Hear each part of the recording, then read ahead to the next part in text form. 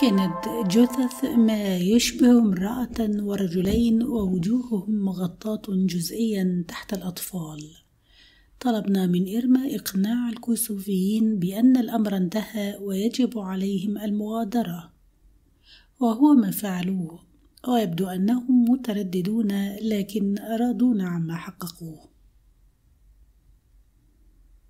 نظر إلينا رجل خمنت أنه في الخمسينيات من عمره وربت على صدره بيد واحدة كما لو كان يقول شكرا لك عندما ذهبوا طلب أندرو من أحد رجال الشرطة التقاط صور للضحايا في الموقع.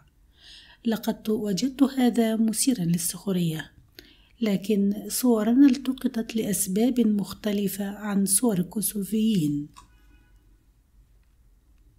عندما كشف شرطي خرق الملابس الممزقة التي تغطي وجوه الضحايا البالغين شهقنا جميعا بسبب مستوى التشويه الذي فعل بهم. كانت أنوفهم وآذانهم مفقودة وكانت هناك علامات على وجود صدمة خطيرة حول مآخذ عينهم الفارغة تقريبا.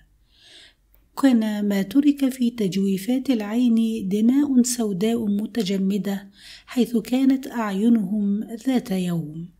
كان كل وجه مغطى تقريبا بقناع من الدم الجاف.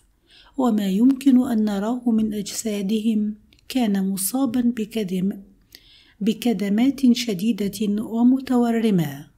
كما كان من الواضح أنهم تعرضوا للضرب وإطلاق النار عدة مرات. وأخيرا بعد أن أنهى رجال الشرطة عملهم في فحص مسرح الجريمة في مكان المذبحة قمنا بتحميل الجثث الخمس بعناية على الشاحنة التي يقودها تيمي انضممت إلى إرما في الجزء الخلفي من سيارة لاند روفر التي يقودها جاك رقيب الشرطة الذي صاحبني عندما وصلت لأول مرة إلى مطار سكوبي. كنا نعرق جميعا من الموت والأوساخ والعرق الذي لا معنى له. نظرت إرما إلي للحظة ثم قالت بهدوء لديك وظيفة رهيبة. صمت للحظة أو اثنتين وقلت وأنت كذلك. مفرجا عن نصف ابتسامة. أومأت برأسها ثم أحنت رأسها بينما تدحرجت دمعة على خدها. بينما تدحرجت دمعة على خدها لم أرغب في إحراجها. لذلك نظرت من النافذة لمنحها بعض الخصوصية.